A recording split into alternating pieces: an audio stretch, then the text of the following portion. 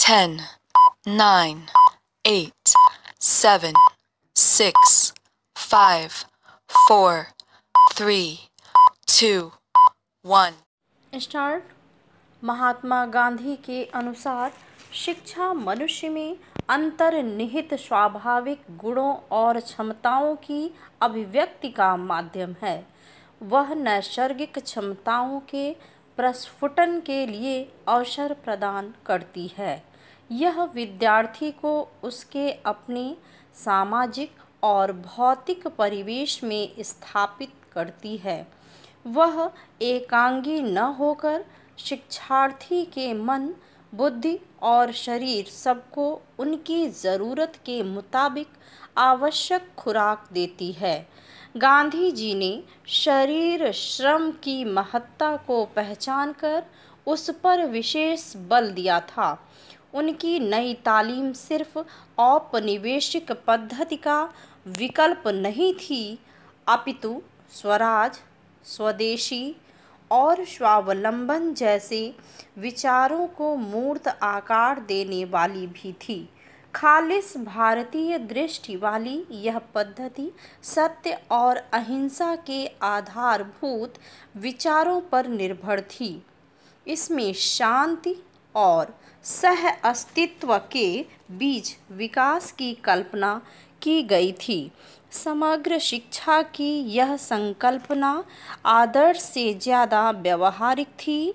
इसमें कौशल विकास और सामर्थ्य के विकास जैसी अनेक कठिनाइयों के समाधान भी हैं। गांधी जी की विचारधारा को आगे बढ़ाते हुए भारत में, शिक्षा के क्षेत्र में कई प्रयोग भी शुरू हुए, जिनमें से कुछ अभी भी चल रहे हैं। वर्धा के सेवाग्राम में संचालित आनंद निकेतन नामक विद्यालय, हृदय, हाथ और मस्तिष्क के बीच सघन तालमेल बैठाते हुए आगे बढ़ता है। विशेष रूप से इसमें शिल्प के लिए आग्रह, स्वावलंबन के लिए तैयार करता है। मातृभाषा का उपयोग करते हुए समानता और सह अस्तित्व का पाठ विद्यालय के परिवेश में निःशब्द रूप से बिना किसी शोर के घुला मिला है। पीपल और बरगद के तले, मिट्टी और खपरैल से बने विद्यालय के भौतिक परिवेश में मन, वचन और कर्म का साथ देखा जा सकता है। अध्ययन विषयों में लोक कला, संगीत की भी खास जगह हो है।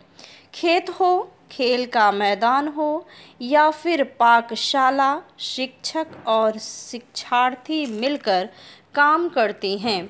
आज के चकाचौंध वाले विद्यालयों को देखते हुए धूप, हवा, मिट्टी से जुड़े इस विद्यालय को कोई भी सहज ही पिछड़ा कह सकता है। विद्यालय में पहुँचने पर शिक्षक और शिक्षार्थी घर की ही तरह विद्यालय की सफ़ाई करते हैं। प्रयोग में आने वाली चीज़ों की रिसाइकलिंग भी की जाती है और कुछ नया सामने आता है।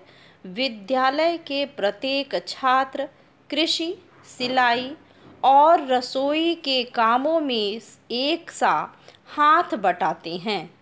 विद्यालय के जीवंत परिवेश में जीवन जीते हुए शिक्षा का स्पंदन होता है।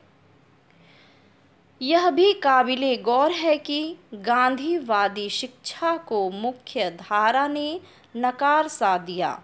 गांधी जी ने चंपारण में 1917 में विद्यालय शुरू किए थे, पर उसमें से अधिकांश अब खस्ता हाल है और उनका गांधी जी के विचारों और अभ्यासों से कोई विशेष सरोकार नहीं है।